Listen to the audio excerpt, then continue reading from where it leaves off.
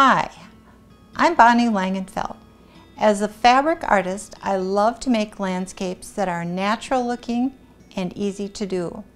In fact, I love them to be so natural looking that people often mistake them for a photograph or a painting. But it's not. It's all an illusion made in fabric and thread.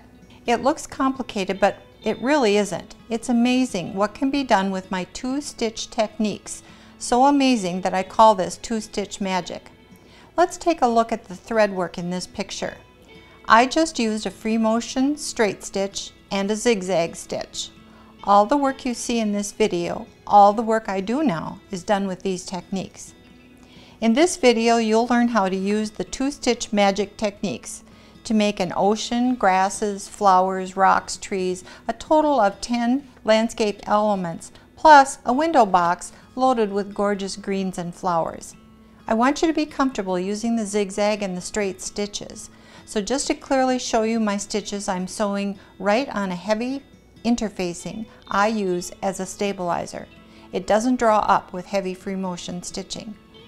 Normally I glue a fabric background on the interfacing and stitch on that, but this is Timtex.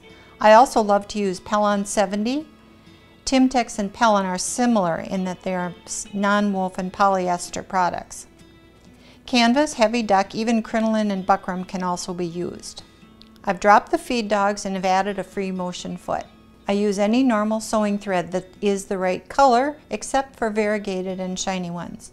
Usually a lightweight bobbin thread is used in the bobbin. Let's play with these stitches.